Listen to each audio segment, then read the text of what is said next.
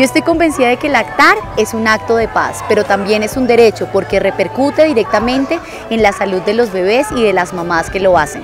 En el caso de los bebés, previene infecciones porque la mamá le pasa todo su sistema inmunológico a través de la leche. Y en, el caso de las mamás, ayuda a prevenir la osteoporosis, el cáncer de seno y a que el útero vuelva a su estado normal.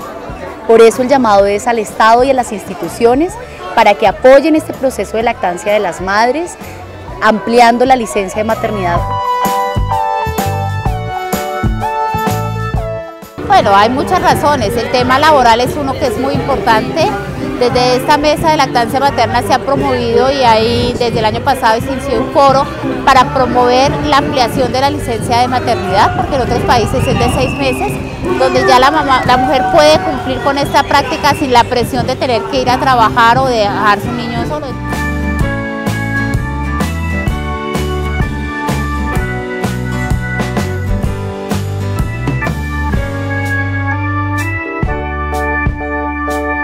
Lo que estamos haciendo acá es la tercera versión de la Tetatón, lo que estamos buscando es generar eh, toda una conciencia frente al hecho de la lactancia materna, ojalá exclusiva durante los primeros seis meses.